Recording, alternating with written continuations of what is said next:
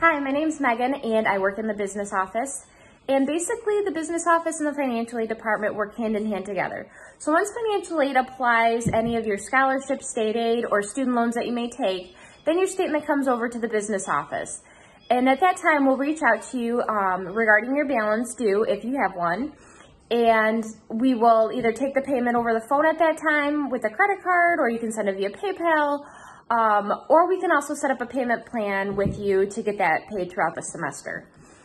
We also, the business office also processes any refunds. So if you take out a student loan and it is more than what your tuition or your tuition and housing may be, we'll refund that to you as well through your student PayPal account. Um, also, we will review your statement with you, go over um, any of the charges that you may be curious about, just to give you or your parents a better understanding of what you're being charged for. So if you guys ever have any questions, please feel free to reach out to us and uh, we look forward to working with you. Thank you.